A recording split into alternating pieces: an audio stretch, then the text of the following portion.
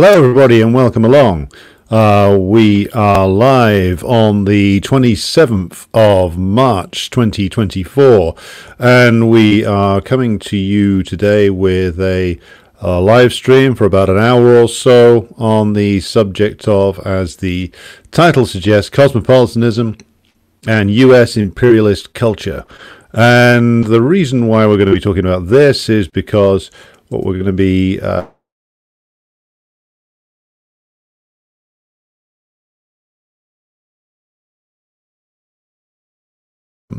um, has been uh, substituted for internationalism uh, by the bourgeoisie as a means of their, uh, as part of their ideological assault on uh, all forms of communism and all forms of working class power.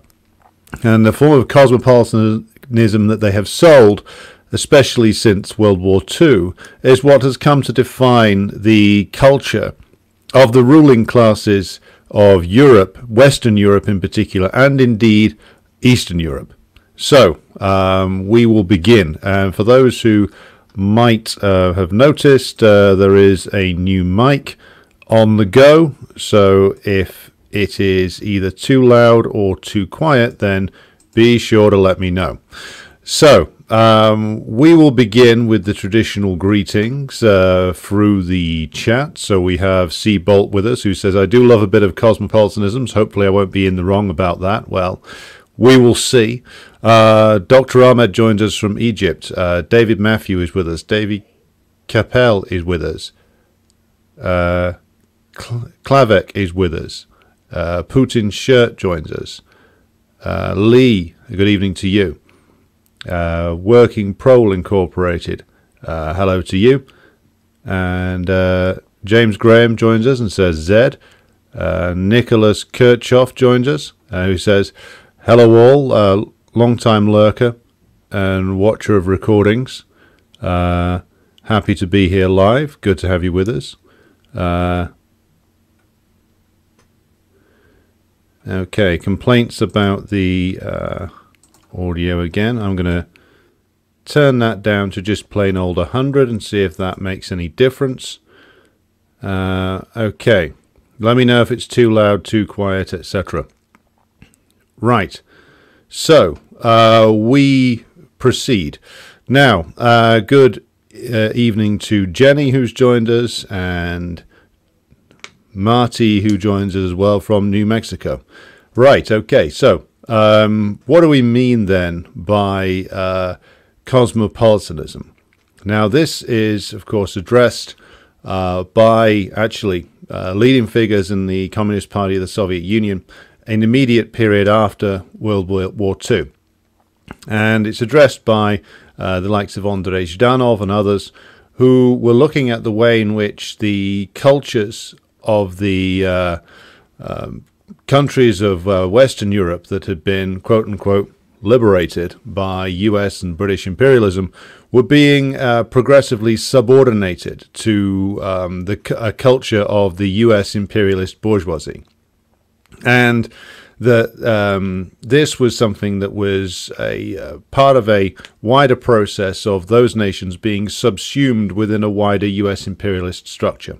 And this, of course, makes a good deal of sense because what um, happened after World War II, as we've mentioned here many times, was that the uh, the French and the British imperialists had, were, and of course West Germany, Italy, etc., and of course Spain too, which was included in the Marshall Plan. And what happened was because these nations were reconstituted on the basis of loans and uh, aid from U.S. imperialism, it, and their status in the world was then uh, underpinned by U.S. imperialism. So, for instance, the U.S. backs up the uh, the Dutch in their war uh, to try and subdue Indonesia. Ultimately, the Dutch fail there. Uh, the um, uh, French, of course, attempt to uh, reconquer or gain control back over um, what was then called French Indochina, later known as Vietnam, and of course Algeria. And all of this is backed up by US imperialism. The British, of course, have a bit of a dispute with US imperialism over their colonial possessions. The US, of course, wants to muscle in and get a slice of that action for itself. Uh, on the bait, and this is disguised uh, under um, the guise of um, yeah, freedom for small nations, but in reality, it's muscling out the British and the French so that the US can take the market share. It's a transfer of ownership, not anything more than that. The US had in mind a far more, uh, to use Kwame Nkrumah's later term, neo colonial system than a direct colonial system. But they were prepared to back direct colonialism when it meant crushing uh, the movement of the masses towards a um, socialist system. Now, so, what does this actually mean in terms of the culture? What is argued by uh, communist writers, indeed from the French Communist Party in the later 1940s, was that the um, the culture of of the bourgeoisie themselves was one that was actually being supplanted by American culture, and this is something which was justified by many on the uh, the in the reformist and later revisionist parties, but the reformist parties in the 1940s, principally those which were the social democratic allies of U.S. imperialism, principally the French socialists and the British Labour Party, were very much in favour, at least their leaders were, of this progressive. Um, uh, Americanization of the culture. And this pops up later on in um, the things like French New Wave movies, which are basically copying styles that come out of the United States. Um, various uh, French writers uh, complained in the 1940s that the number of uh, books that were just direct translations from uh, the United States was um, dramatically increasing. That they would all show up in the uh, French schooling and university system with courtesy of the Marshall Plan stamped on the front of them. So essentially, the French were being reminded of the fact that their place in the world had been reconstituted by um, US imperialism and was underpinned by US imperialism. And of course, the US ruling class attempted to both shore up the position of the European powers whilst also uh, rim, uh, uh, undermining them and essentially moving in as the new master in a lot of their former colonial possessions. So it's a very complex relationship, but it makes complete sense that um, what happened was these national cultures of the bourgeoisie were progressively surrendered over time in uh, order that the place of the, the national bourgeois is gradually supplanted by US imperialism itself, or that the bourgeoisie in these countries is progressively subordinated to US imperialism. It is not a straight line process, uh, nor is it a process that happens overnight. The um, steady um, su- um, submission of the bourgeoisies of the Western European countries happened over a, a long period of time. They were always um, going to submit when it came to questions of suppressing their own working class or um, essentially uh, limiting the influence of communism in their in their countries. Uh, but they wanted to keep hold of their market share and they wanted to keep hold of uh, their domination over the neo-colonial world. So the uh, submission of uh, national cultures of uh, Western Europe to the culture of US imperialism took a long time to play out, and it was stronger in some countries than in others. But as you go into the 1960s, you can see it starting to manifest itself everywhere. You can see, for instance, that when it came to, for instance, having a domestic film industry, uh, the British bourgeoisie had base- essentially given up by the end of the 1960s, like the um, the the big uh, British productions uh, that had uh, existed even just a few years earlier had all started to bite the dust. The British bourgeoisie were really no longer that interested in producing British films. Uh, they were interested in acting as a base for the shooting of American films, and so you get the essentially the the takeover or, or of um, British filmmaking by Hollywood money, by American money. from the late 60s through to the early 80s. And so what you get, get is that a lot of British directors, a lot of British screenwriters, um, technical people work on um, Hollywood productions in British studios such as Pinewood and Shepperton. Um, so, for instance, like a lot of the Star Wars movies are shot there. Um, uh, the the uh, Blade Runner movie, the original, uh, the good one, is shot there, and it's the same process does occur in France, but it occurs on a much slower timeline. So, for instance, the the French bourgeoisie were a little bit more split about the um, their relationship with the with U.S. imperialism than the British were. The British went for straight up. Um, a, a bargain as soon as they could get one, and, and it would be mean them willingly playing a subordinate role, but getting to cling on to certain things. So they get to uh, hang on to certain bits of business um, that are done through the City of London, as is chronicled uh, by the um, the work of Tony Norfield in his work in the city. So, for instance, the City of London continues to outperform Wall Street in a couple of key areas all the way through to recent years. And they get that by willingly submitting themselves to US imperialism and a whole range of other issues, and essentially acting as US imperialism's pilot fish quite a lot of the time. The French bourgeois, after the crisis in uh, in the over the Suez Canal in 1956, where they regarded um, U.S. imperialism as having betrayed them when it didn't it didn't back up their scheme to invade Egypt, uh, a plot they cooked up with the the Zionists in the form of the Israeli colonial state. The British chose willing submission. The French chose partial defiance. So you get the de Gaulle era and the uh, the dreams of the uh, the French bourgeois that essentially they are going to recreate a greater France uh, through the um, the construction of the, uh, what became the European Economic Commu- Community and then the the European Union later on. That um, idea that was animated by de Gaulle and certain bourgeois French intellectuals uh, came into play in the um, in the late 50s and early 1960s, which is why de Gaulle didn't want the British to join uh, the EEC, as it was known back then, uh, came out of the European coal and steel community. The idea of de Gaulle's was we are going to exert French influence over this new European uh, community, and it will help France retain its place in the world by essentially having a Europe politically run by France and economically run by West Germany.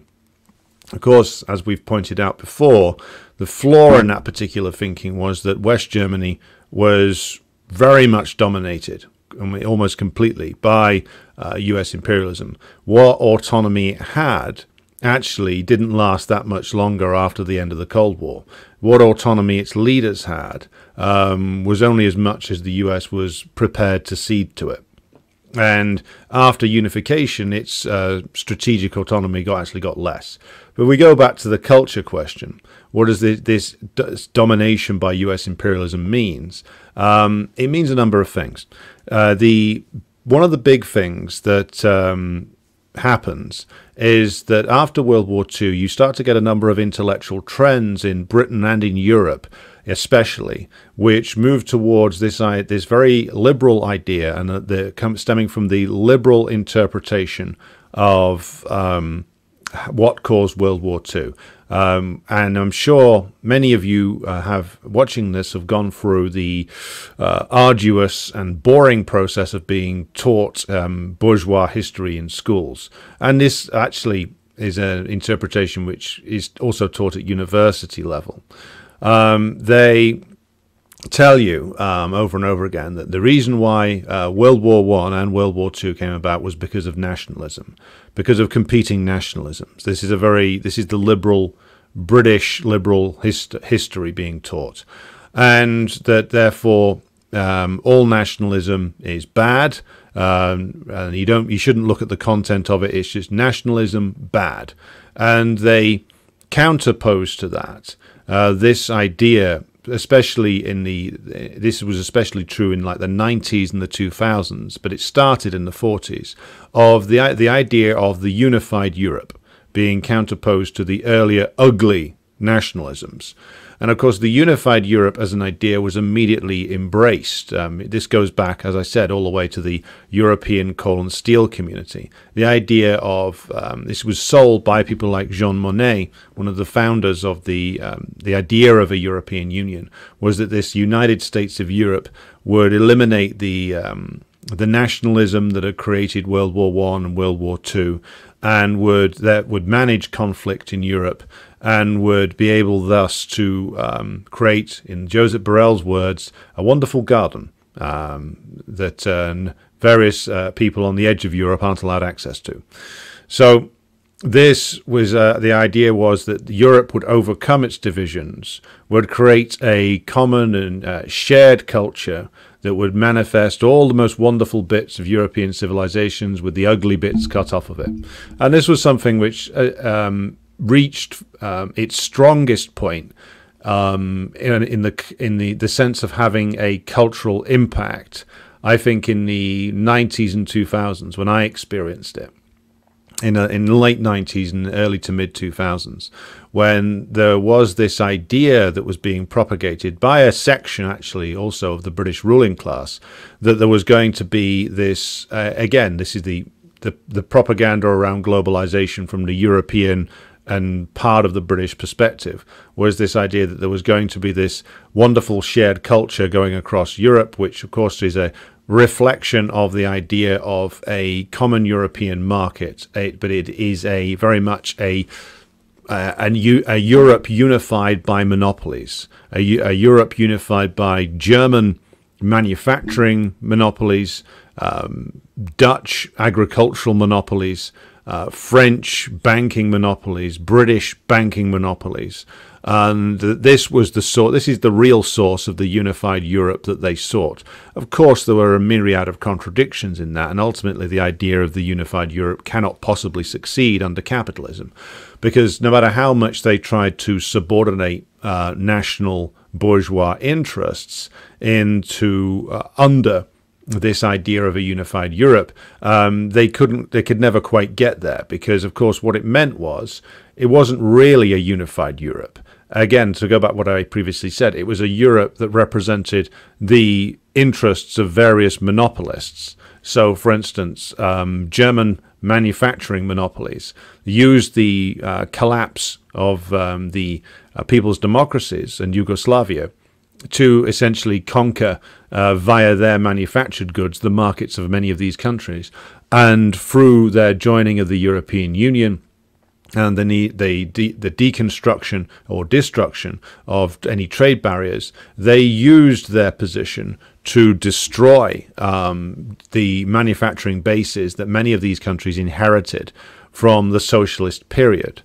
And this was also true for capitalist countries as well like the um, the me- membership of the the euro for a country like Greece or a country like Portugal, in actual fact, ended up um, severely damaging, if not nearly completely destroying, the domestic manufacturing base because the different currencies um, in particularly for the smaller countries of Europe, were the last thing that were uh, was a barrier to German manufacturing smashing down the door and essentially monopolizing the uh, the market for manufactured goods. Especially true of Greece. And part of the reason why the Greeks ended up borrowing so much in the later 2000s and the early to mid 2000s, and then there was the Greek debt crisis in the later 2000s and early 2010s, was to, in order for them to buy German manufactured goods. And also, of course, then they had to borrow more money to pay down the debt on the previous loans. And it's the reason why, of course, Merkel insisted upon uh, full repayment of all debts and was prepared to uh, eviscerate uh, the Greek economy in the process. And just look at the uninterrupted downward spiral that's happened in Greece since then. Now they're passing bills through Parliament calling for the extension of the working week to 120 hours. So this idea of a unified Europe, which was sold as this wonderful uh, post post World War II, then post Cold War idea of the the Europe that has overcome all of the contradictions put in there by nationalism. And nationalism like another is another term much like democracy uh, or the state or any uh, anything else which refers to um, a form of uh, political organization or a form of ideology where if nobody sti- uh, adds to it the form of the class form that that takes or the form that it takes in terms of whether it is a reaction to imperialism or a product of imperialism, then you're essentially dealing with a liberal interpretation if they're not going to give you that um, that that more holistic view of things, that all-around view of things that uh, Marxism-Leninism can give you. So the the dream of the unified Europe um, lasts really. Um, only really about eight or nine years after the launch of the euro. Um, the whole question of like what was going to become of Europe was one that was like filled with optimism prior to 2007 2008 uh, when everybody when the uh, the crisis very much um, hit and what became obvious was that well the, the the the dream was always an illusion we're, let's then we, we've talked more about why this is a, a, Europe of the monopolists. So let's step back to the cosmopolitanism question, how it connects to American imperialism. This, of course, was used by uh, American imperialism throughout the um, post World War II period and has been used ever since then. Um, this idea of the um, the post state future, um, a uh, place without borders um, a place without, um, again, uh, nationalism, various different kinds. This idea was something that was very much um, sold in Europe in the um, the 1940s, 1940s onwards, and after we get the complete collapse of um, the Soviet Union and, and the uh, for most forms of actually existing socialism, what's sold in the 90s via um, various different intellectual trends, the, the, the dumber of which is somebody like Thomas Friedman. Um, the more intellectual of them would be somebody who actually came from the Marxist tradition, which is, of course, Antonio Negri. And his book, his abominable book, Empire, which manages to be as pretentious and as empty as a U2 song. Um, what you get in the, the 90s and early 2000s, both from the pro and anti globalization people, uh, from both sides of this argument is the idea that the, the nation state is redundant and out of date. And this was an idea that many in um, the imperialist world have been pushing for a long time, um, because, of course, they were trying to argue that there was no need for uh, strong nation states coming out of the uh, those countries that had recently declared independence and won their independence, um, and that all, all they needed to do was to engage in the wonderful global system of international trade. And this really intensifies after the end of the Cold War. And so you see from the pro and anti globalization side in the late 90s and early 2000s this idea that the, the nation state was over. And this is said with great joy by the advocates of globalization, as it was called, and it's said the same, almost the same way from the supposed critics. So if you read Negri, Hardt Negri's book Empire, which I wouldn't bother to be honest with, it's um, one of the worst pieces of um, so-called philosophy I've ever read. The only things that uh, come close to being this pretentious and this useless at the same time would be various things written by the French post structuralists um, or the work of someone like J.F. Lyotard. Um, horrendous book.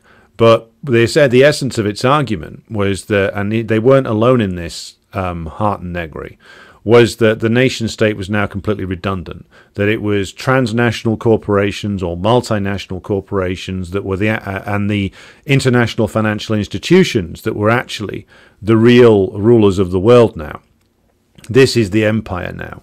Whereas, of course, what was actually going on was if you actually look at the um, foundations of the International Monetary Fund or the World Trade Organization or the World Bank, then you trace their origins and they go all, most of them go the, go back to um, well the World Bank and the IMF certainly the post World War II period and have been founded essentially by uh, US and imperialism with British imperialism playing the junior role, and that they share ownership of these. And the Europeans get in on the action as well, uh, France and Germany in particular.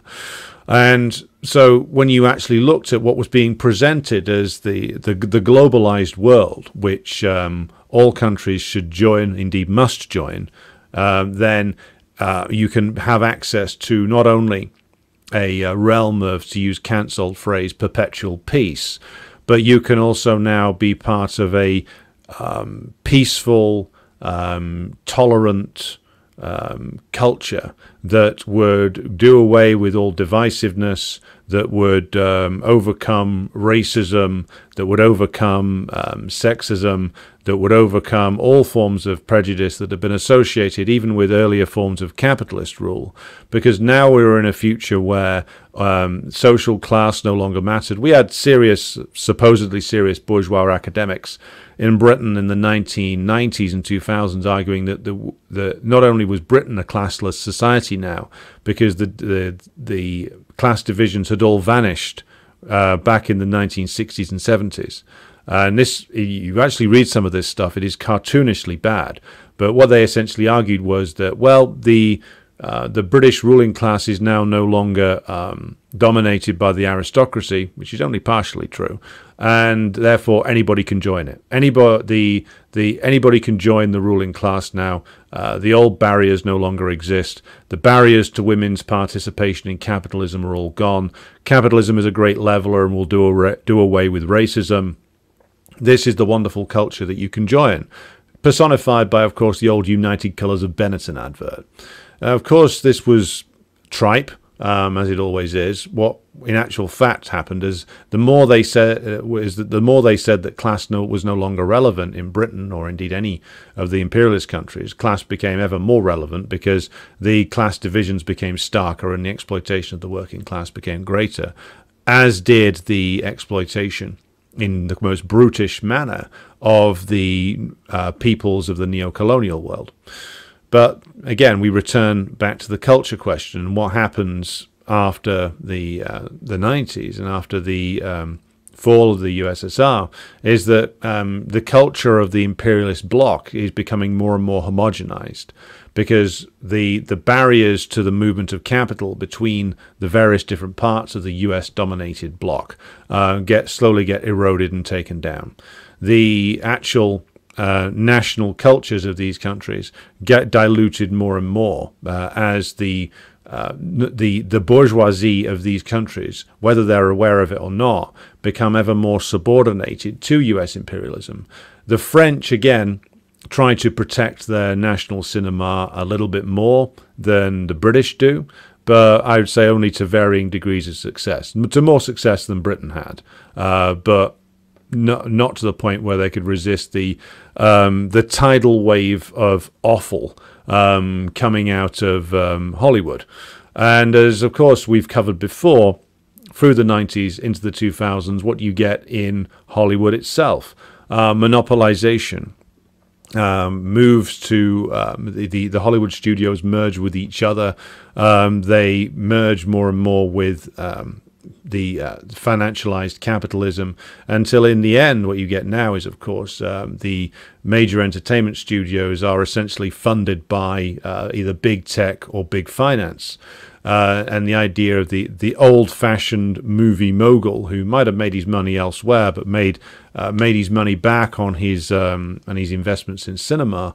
Um, that's kind of bitten the dust. These are now just essentially vanity projects for um, the cor- corporations uh, that are involved mainly in making their money in tech, such as Amazon or Apple. So what you get is homogenization um, both inside the center of US imperialism itself and much more widely across the US imperialist vassal states. Um, the, that happens um, the, the, the, way you see um, so-called what, the sovereignty of these vassal states gets eroded because essentially the bourgeoisie of these countries has decided to surrender it. They, the process went on um, a long time.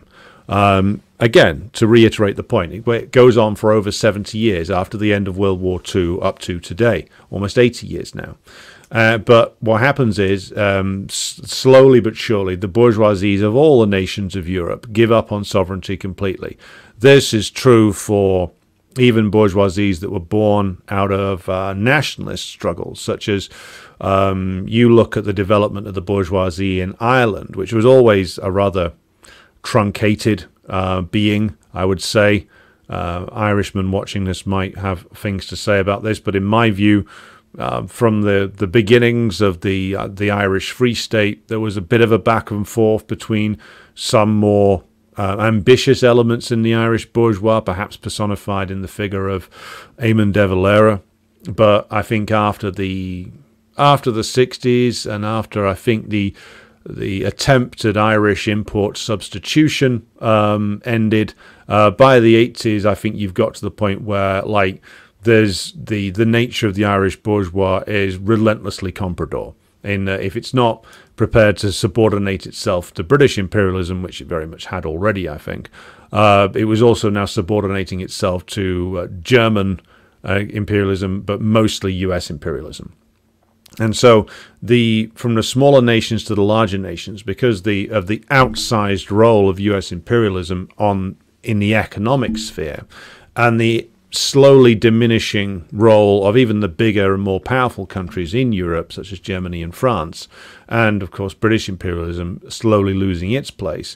What you get now is a block of countries which is just dominated economically by US imperialism and thus dominated culturally by it as well. And culture doesn't just mean, of course, films, doesn't just mean novels, doesn't just mean any other art, culture, or entertainment um, that you might engage in or you might indulge in. It means that, of course, the the ideas that are derived uh, in this period become ever more poverty stricken because essentially what what is the wellspring that they are drawing from First of all, not only is it the case that when examining cultural products, you can't just examine the product itself, you can't just examine the novel or examine the film or the piece of music.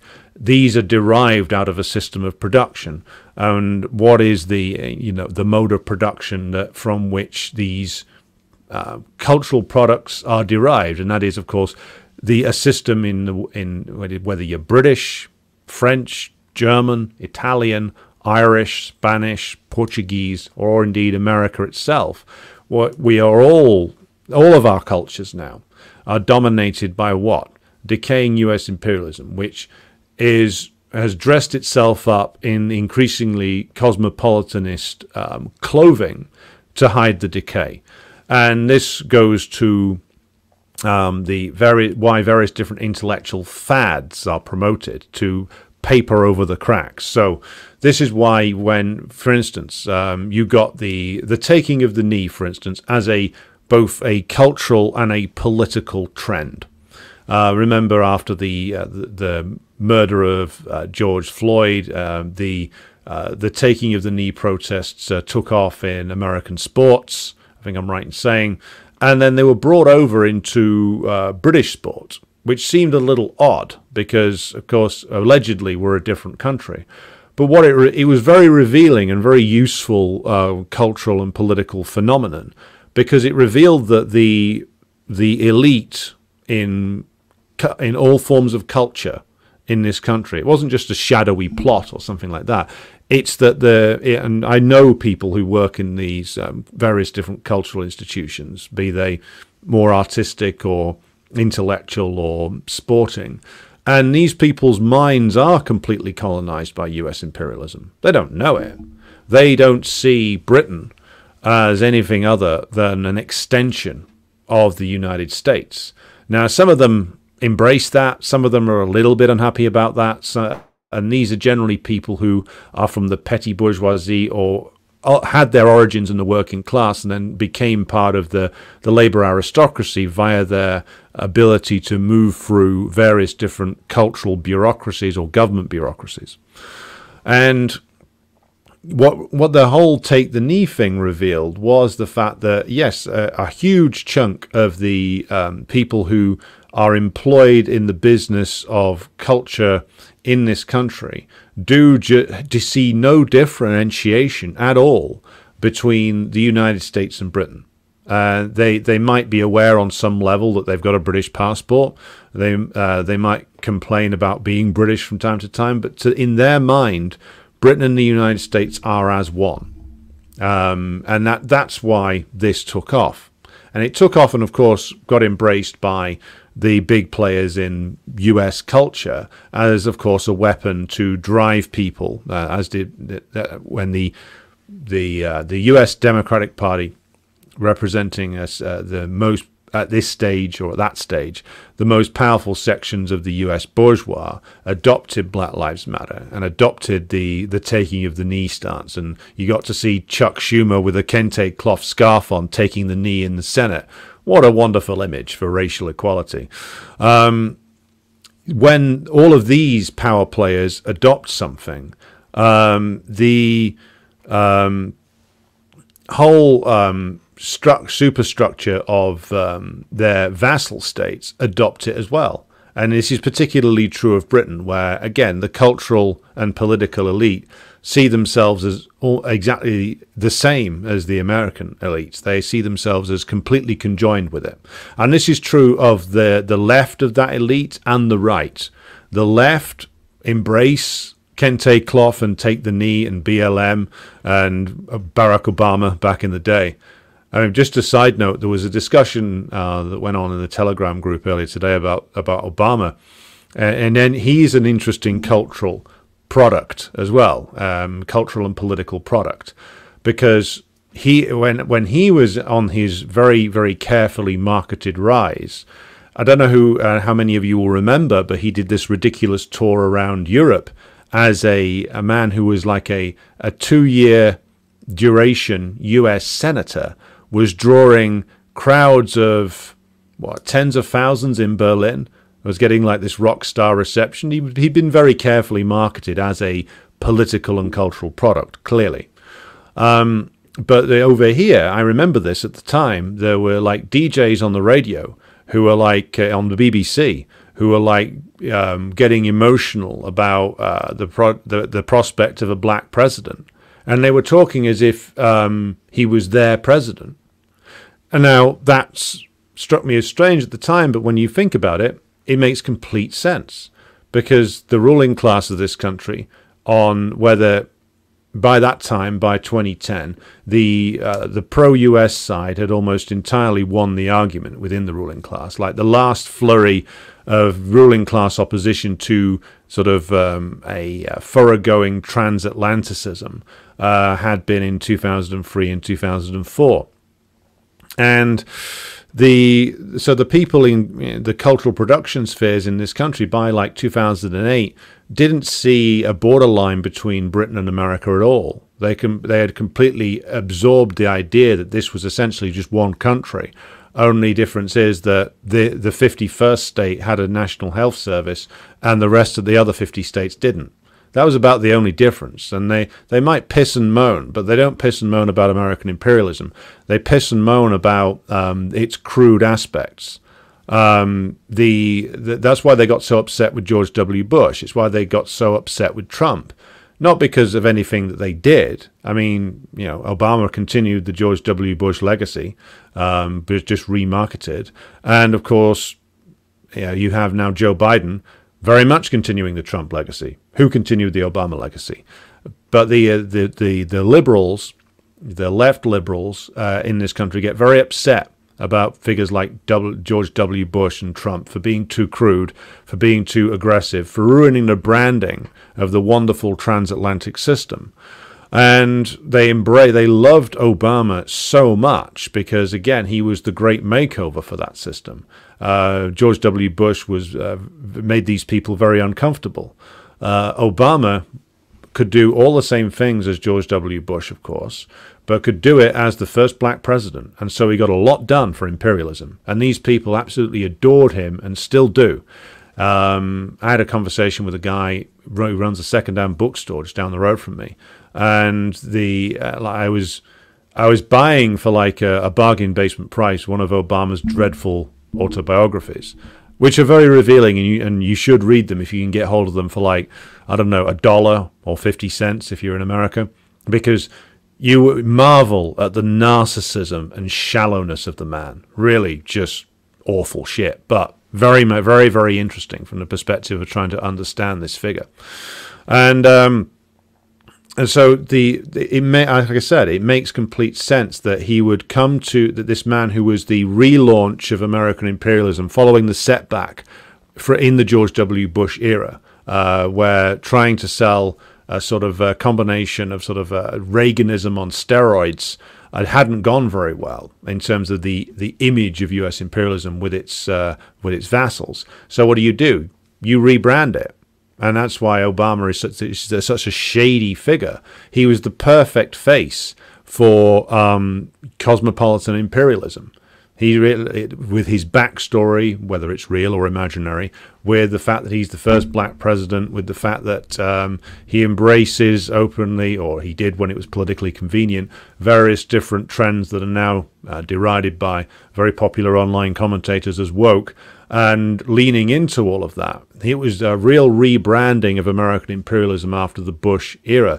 It did all the same things as the Bush era, but it did so in the end, whilst frenetically waving a rainbow flag and, of course, embracing various forms of what is now called identity politics. And this was, of course, very useful uh, for the US ruling class in serving to uh, dilute and divert any attempt at the re-emergence of even the most basic form of class politics. Obama was wonderful for the branding of US imperialism, and he was the absolutely perfect face for this sort of late stage decaying US imperialism to give itself a, a literal facelift and remarket itself around the world. I mean, the meme of um, the difference between the uh, Republicans and the Democrats being a B 52 with an American flag on it dropping bombs for the Republicans, and a B 52 with the pride flag on it and Black Lives Matter written on the side for the Democrats make it's a meme, but you can learn a not learn a lot from a meme if it's done particularly well, and that one does sum that up. So again, like now, now let's talk a little bit more about what we what we've what we can learn from cosmopolitanism and how we counterpose that to um, proletarian culture. Cosmopolitanism is not what it portrays itself to be. It is not a free um, and uh, open ex- uh, expression of a coming together of different cultural traditions. It's essentially a product that is delivered to you, a concentrated and hyper diluted form of various different cultures delivered to you by a largely US owned corporation. It is the um, annihilation of all the positive things of national culture, including US national culture, by the way. I know we've got some Americans watching this. I'm sure you are aware that the decay of American imperialism and US cosmopolitan imperialism means not only the annihilation of the, the cultures of the European vassal states, but it also means the annihilation of all the positive aspects of even US bourgeois culture why is it that um, a certain section of the US bourgeoisie was willing to embrace a boiled down, completely uh, bastardized version of uh, Western Maoism in the form of like uh, sponsoring different aspects of national nihilism in their conte- contest with the the lower bourgeois and petty bourgeois who are backing the Republicans and Trump. Uh, because in the end, what does uh, this dying imperialism have to offer in the cultural sphere? Uh, what did, what it did um, successfully with Obama was it appeared to renounce part of the uh, racialist past of um, the U.S. ruling class, and some of the U.S. ruling class who are trying to think their way into another remake or another makeover of US hegemony, looked at the Obama success and thought, right, well, we did a bit of a makeover there, and we appeared to renounce the uh, the the the the back the uh, the the racialist period in American history. So what we we should go further with that, and especially when we're fighting the orange bad guy. So this is why they end up sponsoring, oh, well, BLM for a start, why they end up engaging in this national nihilism of like where you get like pseudo Maoist moron professors turning up and like saying that they're decolonizing American television. Uh, or they're you know uh, they're engaging in some kind of cultural revolution by uh, getting a Dumbo script through a um, a media monopoly to be adapted into a Disney product or something like that. This uh, a national nihilism in the United States is, of course, fueled by intra ruling class conflict, whereby one section of the ruling class decides that it's a good idea to sponsor these, um, you know, bastardizations of various different forms of um, Maoism, of post of like uh, post colonial theory and things like that, and apply them in a very crude and dumbed down, in really idiotic way to U.S. history, and so that they end up tearing up their own history in order to try and bind people to this um, newly made over form of US cultural hegemony, which is all about the appearance of a good old traditional Catholic flagellation. But in actual fact, is essentially a giant piece of sort of um, self congratulation. Look at us, look at how much we can renounce of our past, uh, whilst in actual fact not renouncing anything that really matters in the, in the form of imperialism. But of course, using the fact that they can engage in national nihilism and destroy their own cultures, just as they're you know, this this does start from an economic point of view. Imperialism hollows out and destroys the productive economic base of all of the countries that it derives from. So, following on from that, that it would ultimately hollow out and destroy even the positive aspects of previous American bourgeois culture, that makes complete sense. And, and what's happened over the past five to ten years in the United States, partially deriving from, of course, media monopolization, the mergers and acquisitions that have gone through in the Hollywood system and the cultural sphere, but also deriving from the need of the US ruling class to keep remaking itself as um, the economy further hollows out, as the power of US imperialism comes into question. Well, they need another makeover. What to do? They're pushed down the route, route of national nihilism, and that's why you get all these like very stupid um, university professors on obscene amounts of money, like Ibram X. Kendi, going around. A complete con man, but one who was elevated by a certain section of the bourgeois because he gave them a new um, form, um, a cultural form that they could play with and incorporate into their um, form of um, cosmopolitanism. Look at us, we can renounce our past. Aren't we great? You should join us and that this became a new thing that they could sell to their various different democracy foundations all over the world of course. Then you can you too can join us. You too can join us and renounce various things of your past. But all of your past will now be reframed via this sort of bastardized version of the American experience. So, what you end up with, if you're going through these American sponsored academic training courses, is not an, an understanding of your country's actual past. What you end up with is a curated version of your country's past, filtered through then a so called understanding of the American imperialist education system, which has been imposed upon your country in a new form of uh, neo-colonialism, which seeks to subordinate and dominate uh, domestic cultural and intellectual elite in order that US imperialism can control not only the economic sphere, but of course, vitally, the sphere of ideas as well, the sphere of culture. And so you get ridiculous things like um, in the former Soviet countries, like all the people who want to go into intellectual or or, or cultural sphere, well, that, all of that is dominated completely by U.S. imperialism they've and British imperialism. Uh, trust me, I used to work in this field. They've invested a lot of money and a lot of resources advancing through the different um, education systems, taking over via either grants, uh, funding different courses, or in uh, forcing through di- uh, privatization of school education or higher education in particular, um, training academics in uh, the United States and then taking them back over to their home countries to implant the U.S. imperialist view of the world the culture of these countries is dominated by products that come out of US imperialism, and it's all covered over with the veneer of cosmopolitanism.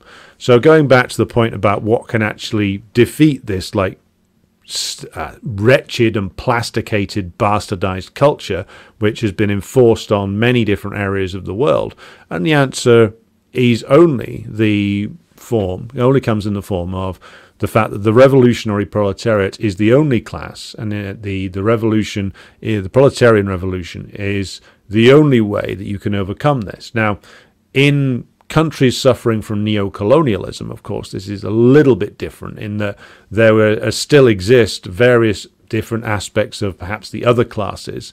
Uh, there can even be elements of a national bourgeoisie in certain countries, in, uh, in the African nations, for instance, where a, a, coalition of classes between proletariat, peasantry, petty bourgeois, and national bourgeois might still be possible. Indeed, is possible in certain countries, and we shouldn't ignore that. But when it comes to my own country, when it comes to the European nations who were drawn into this cosmopolitanism and have, through 60 years of it, have ended up with, with cultural tripe um, for, um, for, for breakfast, so to speak.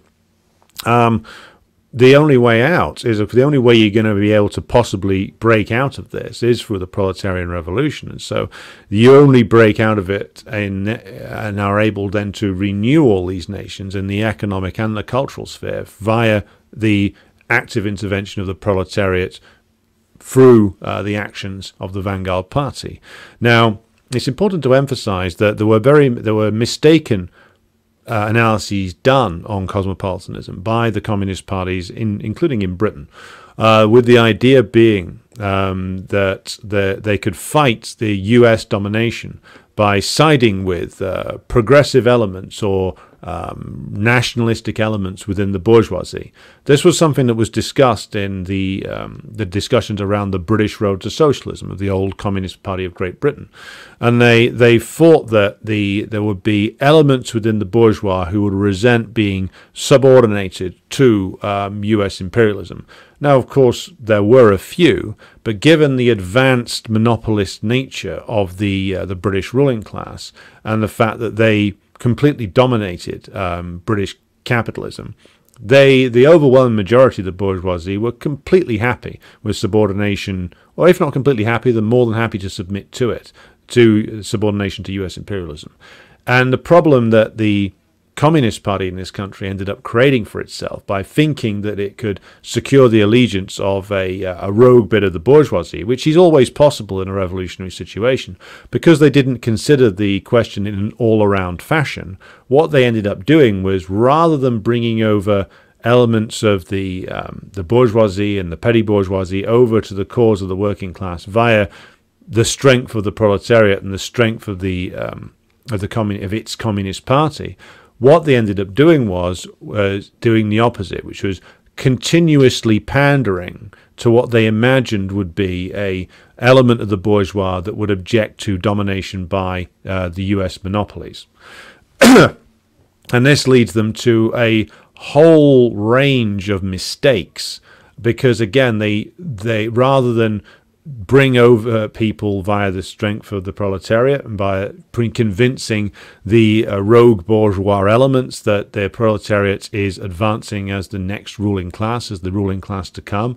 And therefore, if you are serious about wanting to see a better future for this country, then you better come over to the side of the proletariat. Rather than doing it that way, they went the other way and tried to constantly adapt their program and dilute it to an imagined rogue bit of the bourgeoisie that never really emerged.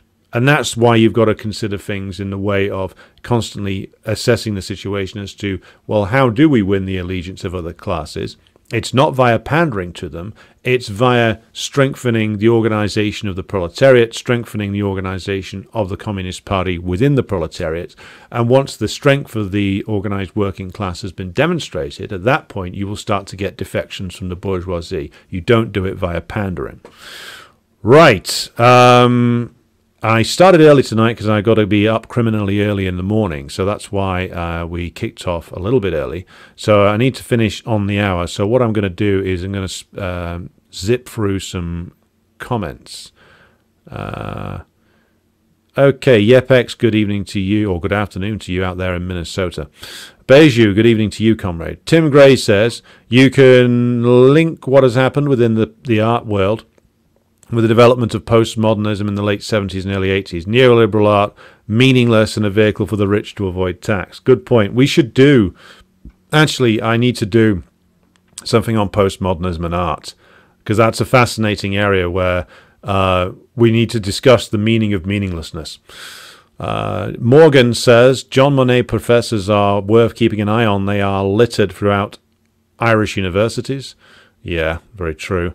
Uh, muzzle paint says Solidarity Comrades live from the ruins of Key Bridge. We will visit, be visiting the Key Bridge scandal tomorrow. Daryl Davis says, but on uh, not on topic, but on what you were talking about regarding Iraq yesterday. So Iraqi communists split on Hussein. Pro-Soviets lined up behind uh, Hussein. Pro-Chinese did not, with tragic results. Interesting. Again, I, I, will need to revisit the um, Iraqi communist split there um, in a future episode. Tim Gray says, interestingly, at the end of the Western Roman Empire, its cultural output was dominated with nihilistic self destruction and mysticism. I'll just simply look at the camera and let you draw your own conclusion. Um, GCCX Pro says 20,000 German bozos were attending Obama. Yeah, I remember that. Um, Daryl Davis says, I'm so happy the UK didn't do to Rishi what uh, was done to Obama. Well, in fairness, like, um, the history's different. Um, I mean, don't get me wrong, the British ruling class have, uh, were and are incredibly racist, but um, it's always been a little bit different here. I think because there wasn't the formal um, segregation system here, there's informal segregation. But again, it's much more based on class than race in Britain. The, again, there is racism, but it's not quite the same. And particularly with regard to Rishi Sunak, who's an incredibly rich Indian guy, he's rather hard to sell as a as a as a uh, a, a success story who's come from nothing. Like he's um he's a guy who's so rich, like he doesn't even remember how many houses he's got. So yeah, and also Obama, even though he's a vile bastard, um, was able to act the part the great charismatic leader. Rishi Sunak is as charismatic as a spent match. Bob Parr says Obama came through the dodgiest Chicago politics. Rumors are abound about him being uh, spotted while a child. His mother was rumored to be from a free letter agency. Well, his stepfather was. His stepfather was um, a CIA asset who worked in Indonesia and I think was involved with organising the genocide in 1965. So certainly a dodgy family history. And his old man, his actual father, came to the US on a um, on a paid scholarship as well uh, to be trained at an American university. President Jesus says my favorite uh, was NBA NBA players wearing slogans like "Group Economics" on the back of their jerseys after Obama stepped in to stop a player strike. Yeah, the fact that they listened to him just shows that they're where where a lot of those guys' class interests actually are. Uh, the I think the very well paid players at least. Putin's shirt said the same thing happened with Greta Thunberg as with Obama. Well, they certainly tried. She skyrocketed into fame overnight. I could have spat on the steps of the Swedish embassy with a poster for 100 years and never been known at all.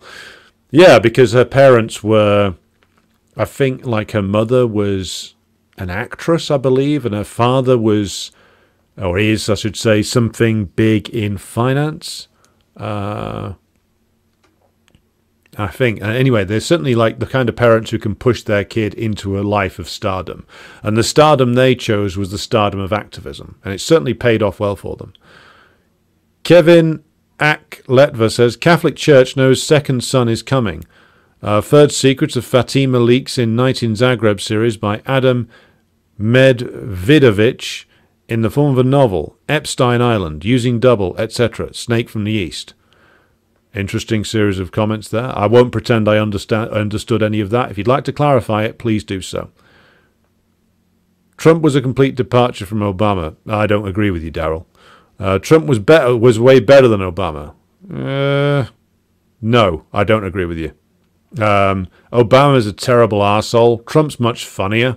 Um, like I'd I'd rather if I had to choose, I'd rather go for a game of golf with Trump. It would be very entertaining.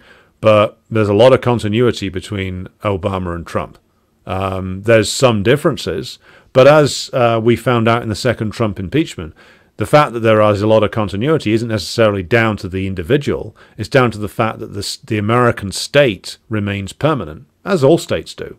Uh, just remember the words of Vindman, uh, Colonel Vindman, uh, you great Ukrainian patriot, on the second Trump impeachment trial, which is that when he said that Trump had departed from the foreign policy of the United States. And he meant it as well. He meant it because, as far as he was concerned, the foreign policy of the United States was decided by the state bureaucracy. The president comes and goes, but the state is permanent. Daryl says, I grew to hate Obama. I didn't always, but he was horrible. I never liked the fucker, I got to admit, from the start. Um, the. Uh, um, I, the the adoration of him I always found fucking nauseating. Um, Beju says Obama had the quality of talking elegantly at length but actually saying nothing, sounding great to liberals but with no meaning. And as liberals, um, including left liberals, value aesthetics over everything else, that's why that part of the reason why they fell for his charms. Potted Rodent says Obama was the orator the new empire needed at the time. Very true. GCCX Pro says left cosmopolitanism equals Trotskyism. Very much does a lot of the time. Um, I'm going to have to skip through um, some of this because I need to knock off in a minute. Daryl Davis says Obama kicked black people in the teeth. Obama screwed the black bourgeoisie. Black bourgeois money largely comes from doing business with China, which Obama was gearing up to destroy. That's a good point, actually, from Daryl Davis there. Uh, they, the, the the trade war with China actually began under Obama. Um, Trump furthered it, but the idea of uh, the Trans Pacific Partnership was to drain investment away from China and into other countries in the Pacific re- region. Beju says in the in the UK, the ruling class like to dish out OBEs and MBEs, showing everybody that the ruling class still believes in the, the British Empire exists in some form. Well, comrade, it does. It's just now it's neo-colonialism and imperialism run via um, ultra uh, ultra financialized capitalism, not direct occupation of places as such anymore, but domination via trade, via the uh, global financial system, and limited military presences in certain countries. Um, Lee, glad you enjoyed the stream. Um, good to have you with us. Uh, Couple Quiz Craze says, Do you know the HKP, People's Liberation Party in Turkey? I have heard of them, but I don't know lot, enough about them to comment on them. So if you have stuff about them that you think I should read, send them to the email address. Zo, Zo, Zota says, Oil paintings have always been a financial asset of the rich. The book Ways of Seeing is great on this. Yes, by uh, John Berger, I think. All right. So I'm going to have to knock off for tonight because uh, uh, I will be needing to get up very, very early in the morning. If I've missed your uh, comments on cosmopolitanism uh, and you want me to pick something up, then be sure to email them to me and I'll throw them into the Q&A at the weekend. Uh, but I got a knock off now, so I will say uh, thank you to everybody, all 244 of you who are watching, 136 on X and 108 on YouTube. Uh, I'll be back with you again tomorrow. And uh, there will be coming up this weekend a couple of um, specials I've had on the boil for a while now to be announced uh, tomorrow. Thank you, everybody, and good night.